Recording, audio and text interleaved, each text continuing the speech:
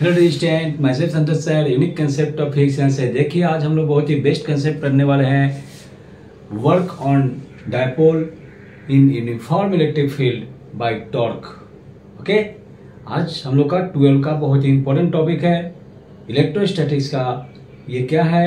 Work done by torque on dipole in uniform electric field देख, देखिए कितना important है ये।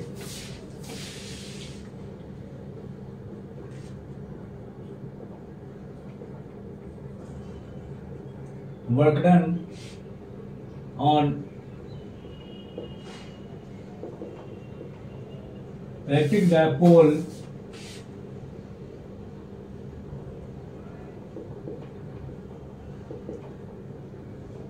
in an uniform electric field ठीक ये कितना ये क्या है इलेक्ट्रिक डायपोल पे यूनिफॉर्म इलेक्ट्रिक फ़ील्ड में वर्क डन क्या होगा क्या लगता है यूनिफॉर्म इलेक्ट्रिक फ़ील्ड में डायपोल पे कौन सा फोर्स लगेगा? टॉर्क लगेगा ना? रोटेट कराने के लिए जो फोर्स अप्लाई होता है, उसे टॉर्क बोलते हैं। जस्ट प्रीवियस लेक्चर में हमने बताया था कि टॉर्क क्या है। Torque on dipole in uniform electric field हमने मेंशन किया है। उसे आप देख लीजिएगा। फिर इसके बाद में आप इसे देखेंगे तो और अच्छा इंटरेस्ट है। देखिए, क्या कहा गया? यूनिफॉर्म इलेक्ट्रिक फ़ील्ड ड्रॉ करेंगे। यूनिफॉर्म इलेक्ट्रिक फ़ील्ड में क्या होता है? इलेक्ट्रिक लाइन्स ऑफ़ फोर्स एक दूसरे के पैरेलल होता है है ना? इलेक्ट्रिक लाइन्स ऑफ़ फोर्स क्या होता है? एक दूसरे के पैरेलल होता है। ये है uniform electric field. Uniform electric field मतलब हर जगह पे इलेक्ट्रिक फ़ील्ड का वैल्यू सेम होगा। यूनिफॉर्म इलेक्ट्रिक फ़ील्ड है नॉन यूनिफॉर्म इलेक्ट्रिक फ़ील्ड की बात नहीं हो रही है। आप जानते हो ना वेरिएबल फोर्स के कारण वर्क डन क्या होता है? वेरिएबल फोर्स के कारण वर्क डन क्या होगा? देखिए।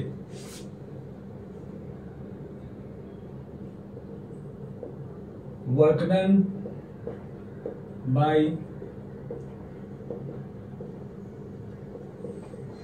variable force work W equal to होता है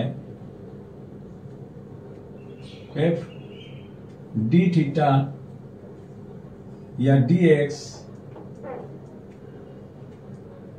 एक्स वन से एक्स टू तक, है ना? ये जो होता है, ये वेरिएबल फोर्स के कारण वर्क डन होता है। अब क्या करना है? इस यूनिफॉर्म इलेक्ट्रिक फ़ील्ड में हमें एक डायपोल बनाना है।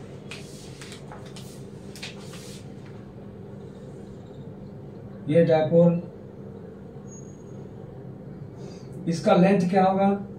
ट्वेल्व डायपोल का लेंथ ट्वेल्व होता है। यहाँ माइनस क्यू चार्ज है इस पे और यहाँ प्लस क्यू चार्ज है। प्लस क्यू चार्ज पे इस पे इलेक्ट्रिक फ़ील्ड किधर है? इधर क्यों होगा? और इस पे फोर्स किधर लग रहा है? इधर लग रहा है। ये सब टॉर्क में मैंने डिस्कस किया है। फोर्स किधर लग रहा है? तो, तो ये रोटेट होगा ना ऐसे। फिर आप क्या करोगे?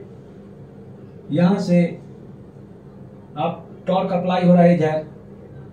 टॉर्क इधर अप्लाई हो रहा है और आप इसे रोटेट करा देंगे इसके जस्ट अपोजिट में।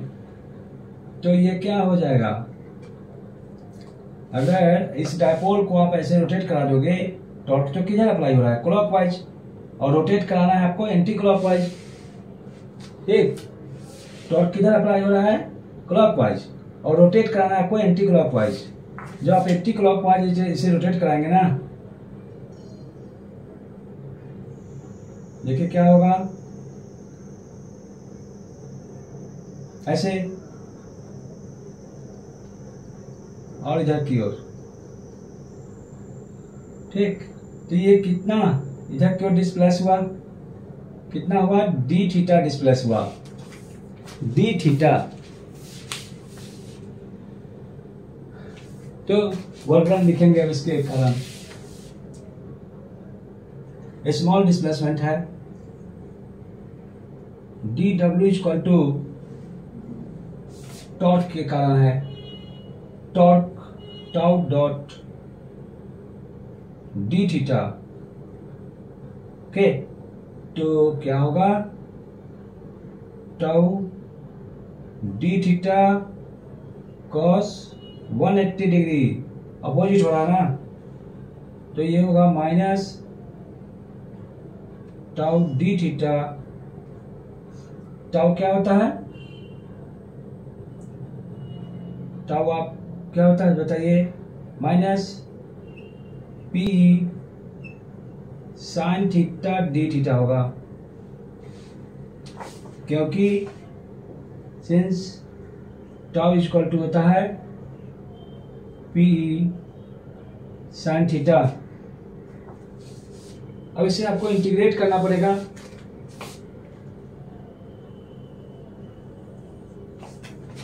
इंटीग्रेट करेंगे। इतने स्मॉल वर्क है ना टॉर्क के कारण। तो टोटल वर्डन के लिए क्या करोगे आप? इंटीग्रेट करिए। D W P sine theta D theta minus होगा। लिमिट इसमें वेरिएबल कौन है? थीटा वेरिएबल है। तो लिमिट भी आपको थीटा के फॉर्म में रखना पड़ेगा एंगल के फॉर्म में।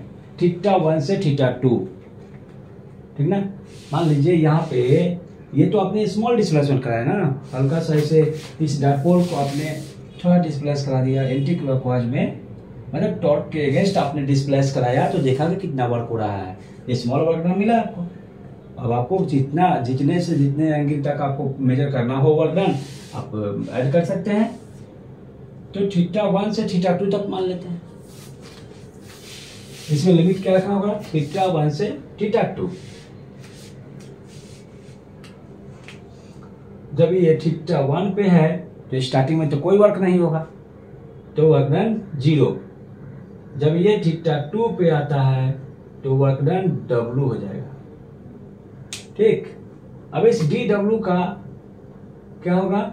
डब्लू इसमें जो कांस्टेंट है उसको बाहर कर दीजिए माइनस पीई और जो वेरिएबल है इसे अंदर रहने दीजिए। क्या होगा? Sine theta D theta theta one से थीटा टू तक। क्या होगा? माइनस पी साइन थीटा का क्या होगा? माइनस कॉस थीटा ठीक, इसका इंटीग्रेशन साइन थीटा का माइनस कॉस थीटा होता है। थीटा वन से थीटा टू तक। Since sine theta D theta equal to होता है माइनस कॉस थीटा ये रूल है इंटीग्रेशन का। तो टोटल वर्कडन कितना आएगा जरा देखिए। माइनस पी यहाँ पे क्या लिखेंगे आप? Minus cos theta two minus minus cos theta one होगा?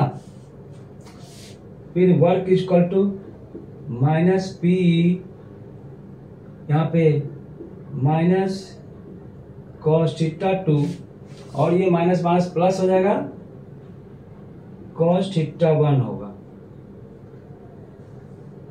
इस माइनस के कारण इस माइनस को हटाएँगे तो ये प्लस और ये माइनस हो जाएगा। होगा ना? तो वर्क इक्वल टू हो जाएगा P cos theta two minus cos theta one work done by torque यही होगा। टॉर्क के कारण वर्क डन ये निकल कर आ गया। अब हमें को मेजर करना है potential energy potential energy on dipole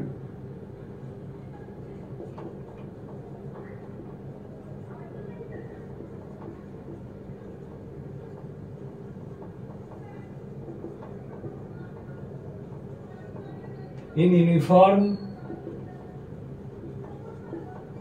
electric field ठीक। ये भी एक मेन पॉइंट है इसका। पहले ये वर्क कैसे हुआ इसे मैं बता देता हूँ। When electric dipole is rotated anticlockwise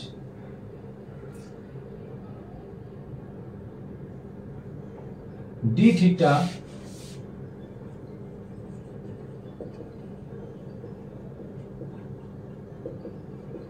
anti-clockwise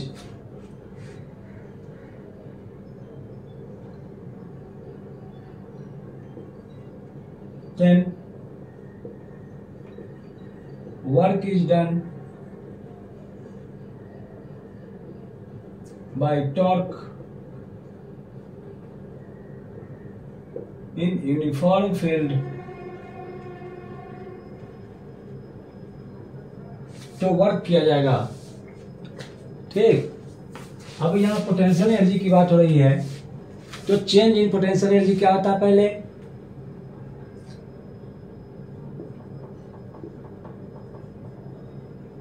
Change in potential energy delta U बराबर होता है negative work done by electric force electrostatic force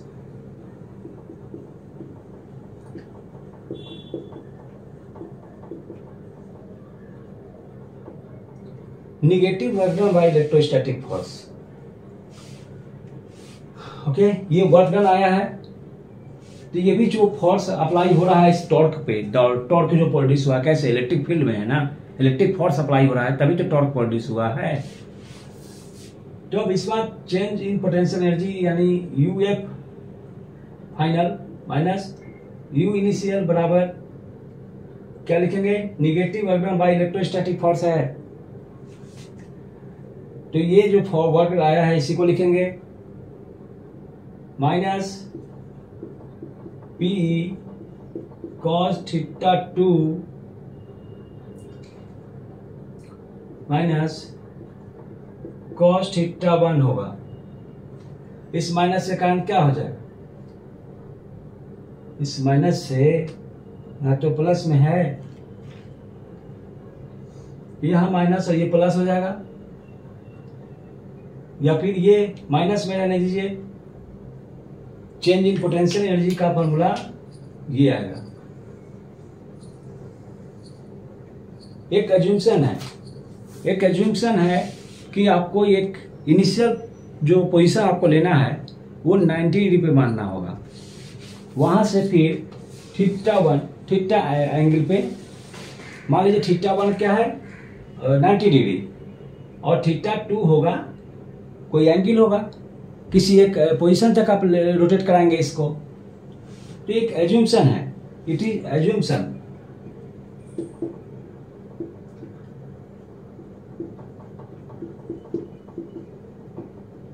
एज्यूमशन है कि potential energy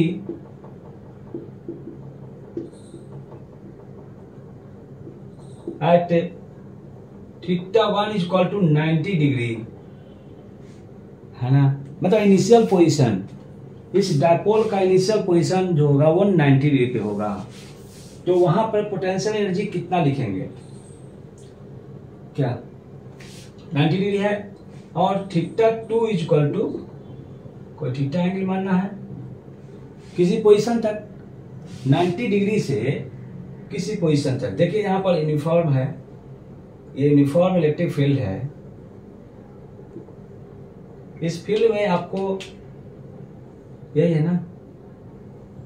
ये डायपोल है। इधर की ओर फोर्स लग रहा है, इधर की ओर फोर्स लग रहा है। Minus Q charge plus Q charge है। डायपोल तो ये जो 90 डिग्री है। 90 डिग्री से ये रोटेट होगा कितना पे? कोई एंगल पे, मान लीजिए। यहाँ से ये मान लीजिए, यहाँ पे आ गया।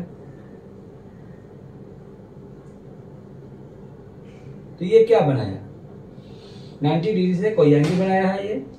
थीटा एंगल फॉर्म किया। है यहाँ से नहीं दिखाएँगे। इलेक्ट्रिक फ़ील्ड के साथ दिखाएँगे। थीटा एंगल पे है। और इलेक्ट्रिक फ़ील्ड के साथ ही ये क्या है? 90 डिग्री पे है। इलेक्ट्रिक फ़ील्ड है ना इधर होगा। Electric field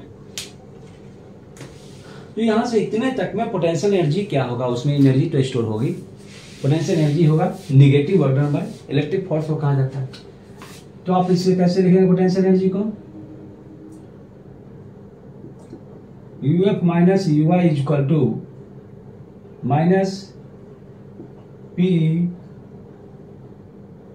cos theta minus cos 90 degree minus P cos theta cos 90 degree का वैल्यू क्या होता है? ज़ीरो आएगा ये माइनस पी कॉस थीटा आ जाएगा। तो चेंज इन पोटेंशियल एनर्जी का फॉर्मूला दिया गया। ठीक? ये पोटेंशियल एनर्जी का फॉर्मूला है। या चेंज इन पोटेंशियल एनर्जी आई बात समझ में? अब इसमें थ्री कंफिग्रेशन होगा। ज़ीरो डिग्री पे क्या होगा? नाइन्टी डिग्री पे क्या होगा? और वन एटी डिग्री पे क्या होगा potential energy maximum potential energy कब होगा? मिनिमम कब होगा? और न्यूट्रल कब होगा? ठीक है बच्चों? तो देखिए यहाँ पर हम क्या काम करेंगे?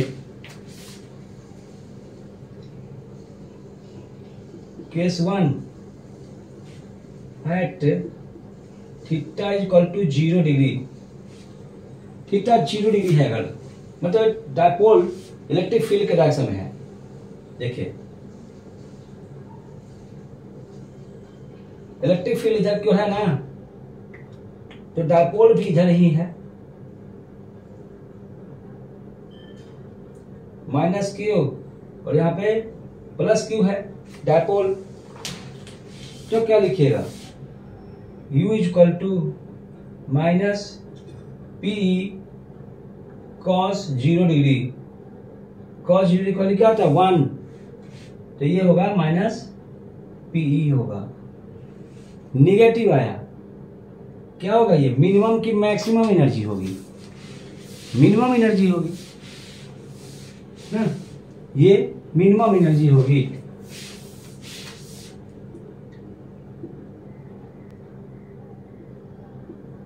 मिनिमम पोटेंशियल एनर्जी तो मिनिमम पोटेंशियल एनर्जी है, और ये क्या हो सकता है? स्टेबल इक्विलिब्रियम हो जाए। मिनिमम है ना? ये बिल्कुल सुकून से, बिल्कुल शांति से अब अपना फ़ील्ड में पड़ा हुआ है। स्टेबल है। स्टेबल इक्विलिब्रियम हो जाएगा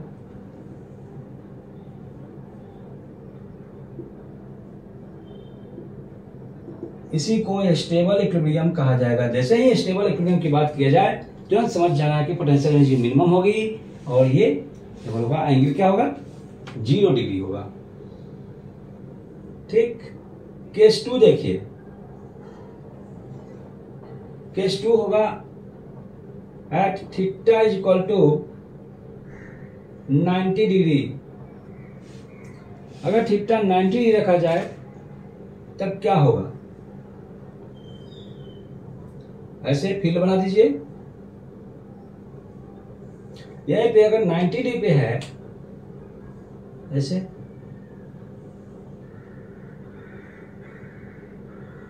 नाइन्टी डिग्री पे है, तब क्या होगा?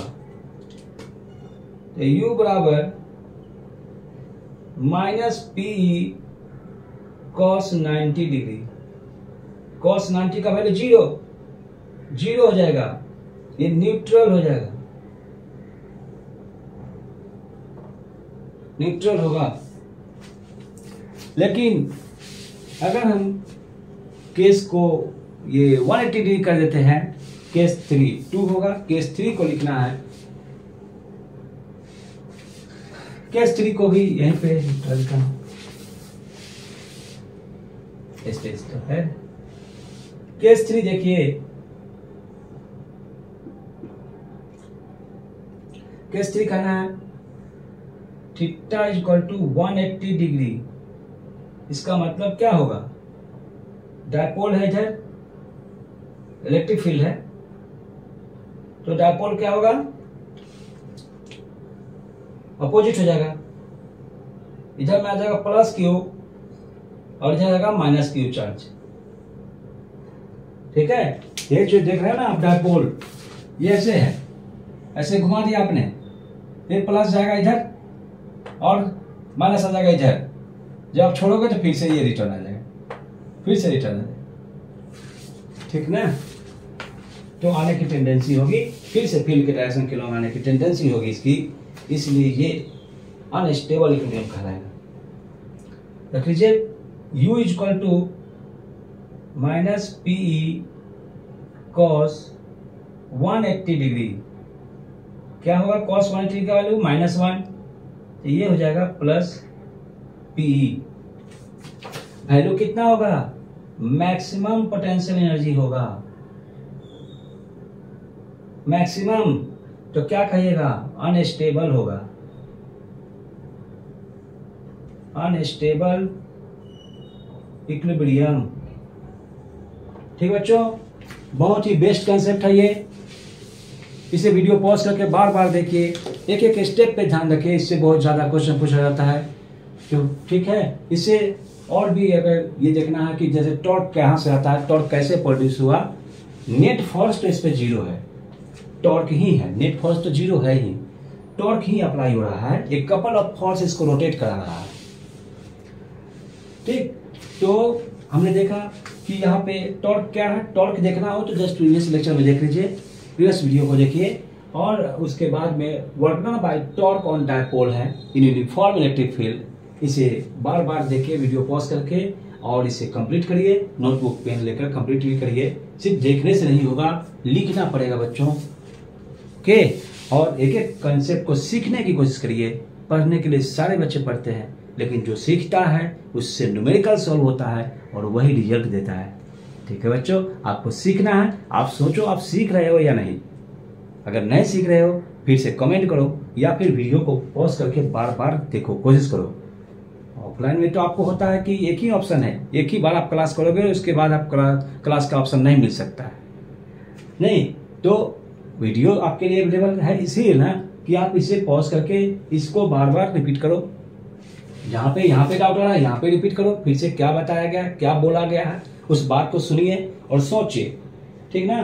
तो आपको यही करना है, ये अगर आप सीखते हो कंसेप्ट सीखते हो, हज़ारों क्वेश्चन बनेगा अनलिमिटेड क्वेश्चन बनेगा, लेकिन आप विदाउट कंसेप्ट चाहते हो कि न्यूमेरिकल सोल्व करें, कुछ नहीं होगा, आपका इंटरेस्ट भी खत्म हो जाएगा बच्चों। तो कंसेप्ट की प्रायोरिटी आपको देनी होगी। ठीक है? नेक्स्ट वीडियो मिलेंगे नेक्स्ट टॉपिक के साथ। Thanks for watching thanks alert